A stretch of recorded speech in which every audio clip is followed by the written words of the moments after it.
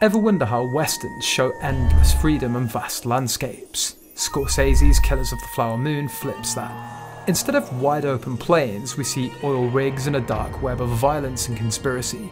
This movie isn't your grandpa's western, it's a stark contrast that makes you think.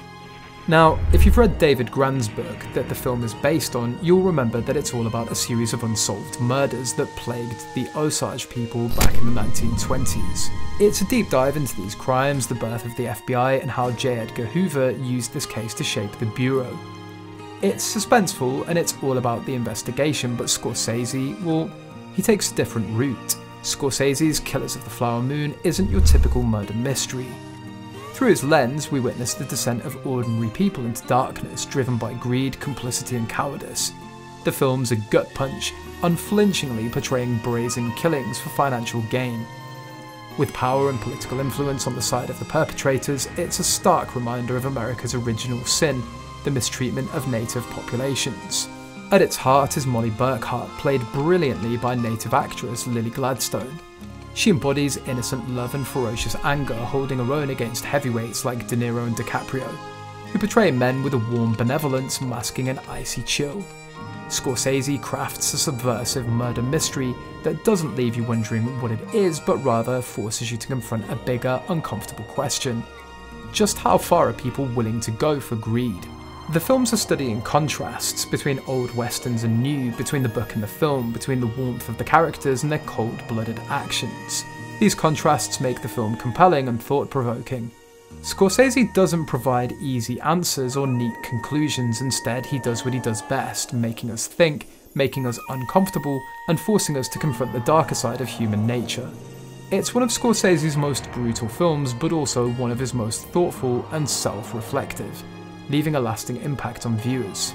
In the heartland of Oklahoma, Osage elders conducted a solemn ritual, burying a ceremonial pipe and tying themselves to their ancestors and land. Their world was about to shift dramatically as oil bubbled up from their lands, making the Osage Nation the richest per capita overnight. However, this wealth came with a dark side. The US Congress deemed the Osage incapable of managing their newfound riches and appointed guardians to control their money. Meanwhile, Ernest Burkhart, a young World War I veteran, arrived in Oklahoma and was introduced to William King Hale, the king of the Osage Hills.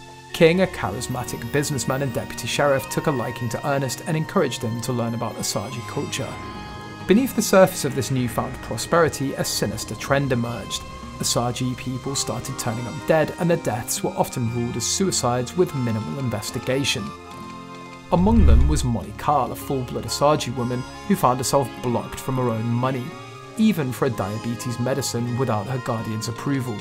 Ernest, now working as a cab driver, met Molly when she became a regular customer. King saw an opportunity and nudged Ernest to pursue a romance with her. Despite initial hesitation, Ernest found himself drawn to Molly's strength and spirit. Their bond deepened, culminating in a traditional Osage wedding, Amidst the celebration, King consoled a grieving Osage woman who soon passed away, casting a pall over the festivities and serving as a grim reminder of the shadows lurking behind the Osage nation's wealth. Little did they know, the storm was just beginning to gather force. Tension and grief hung heavy in the air. Molly Carl, already burdened by her family's wealth and imposed guardianship, was about to face a devastating storm. The once peaceful community was now plagued by mysterious murders, leaving families broken and questions unanswered. Molly's world began to crumble when her mother Lizzie saw an owl outside the window, a harbinger of death. She believed brought on by Molly's marriage to Ernest Burkhart, a white man. Lizzie's words stung, and her favouritism for Molly's sister Anna was a fresh wound. Chaos erupted when a drunken Anna, enraged, grabbed a gun during an argument with Ernest's brother Byron the rooms filled with Anna's fury, Molly's desperation, and Ernest's swift action to defuse the situation. The next day brought a fragile peace with Anna and Byron reconciling before departing. Unbeknownst to Molly, this was their last encounter. News of Anna's murder shattered the community, and Molly grappled with unbearable loss. Another Osage man was found dead the same day, both ruled as murders, sparking fear and anger. Determined to find justice, Molly offered a reward for information, King Hale, a powerful figure, supplemented the reward and encouraged tip offs. However, a sinister web of deceit surrounded Molly. Unbeknownst to her, Ernest was monitoring her. feeding information to King, who manipulated events from the shadows. The investigation took a dark turn when William Burns, the private detective Molly hired, vanished. Meanwhile, Molly's health deteriorated rapidly, not just from diabetes, but from poison administered by Ernest and King, aided by trusted doctors. Molly's world was shattering, caught in a web of betrayal and deceit that would change her life forever. As Molly lay weak and vulnerable, a knock at the door brought Tom White from the US Bureau of Investigation. The tribal council had sought government aid and agents were now investigating the Osage murders. Panicked, Ernest rushed to inform King, setting off a chain of events that would unravel their twisted plot. Molly, unaware of Ernest's betrayal, was fighting for her life. Her world was about to shatter. In Osage County's quiet corners, Ernest Burkhart was panicking. The Bureau of Investigation had arrived, their questions echoing through his home. Molly, his wife, lay resting, her body ravaged by what they thought was diabetes. Ernest, trembling, told the agent to return another day, his heart pounding. He hurried to find King, his uncle, and the puppet master of their grim scheme. King, calm as ever, was at a festival, laughing and joking, oblivious to the law's watchful eyes. He advised Ernest to sit unaware of the storm brewing. The next day, King's luck seemed to have run out. His attempt to claim insurance money was denied, his influence waning. The investigation was closing in, and the once peaceful community was now a hotbed of tension. Molly, caught in the middle, was about to face the harrowing truth, her life hanging in the balance as the web of deception and manipulation began to unravel. The stage was set for a gripping tale of survival amidst the all rich lands of Osage County. Meanwhile, the agents dug deeper, unearthing the rotten roots of King's empire. They questioned the Shoun brothers, who claimed exhuming Anna's body was merely cultural. Tom White, the lead agent, approached King, but he refused to talk, citing the inappropriateness of their meeting place. Despite Blackie, one of King's men, being caught during a bank robbery, King maintained his facade, supporting Osage projects to keep up appearances. Fear gripped King, prompting him to tie up loose ends. AC Kirby and Henry Grammer, his accomplices, were targeted. AC died in a botched robbery while Henry perished in a car crash. The agents, like hounds on a scent, focused on Henry Roan's murder, their suspicions growing daily. Ernest, feeling the noose tighten, grew paranoid.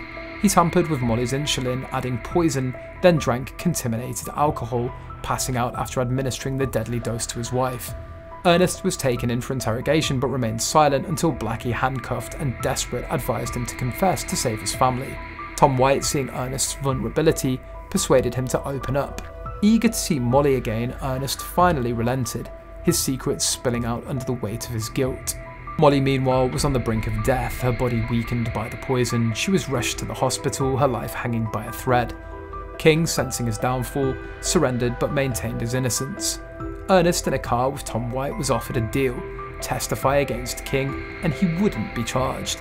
As Molly fought for her life, King's empire crumbled and the truth of his crimes laid bare for all to see.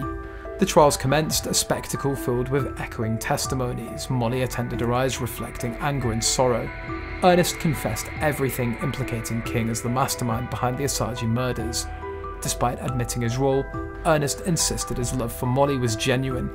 Molly confronted him about the poisoning, but he denied it, creating a rift between them.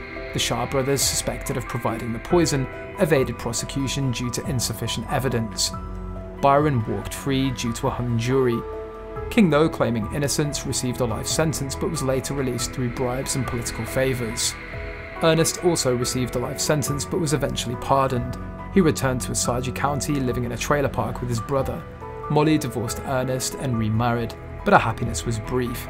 She passed away from diabetes at 50, laid to rest beside her family. The storm in Osage County left a trail of destruction, a haunting tale of greed, betrayal, and the pursuit of justice. Can you believe how deep the greed and betrayal ran in Osage County? The storm left a trail of destruction, and Molly's story is a haunting reminder of the fight for justice. If you found this tale as compelling as we did, don't forget to like, share and subscribe. Hit the bell icon to get notifications for more stories like this. Thanks for watching.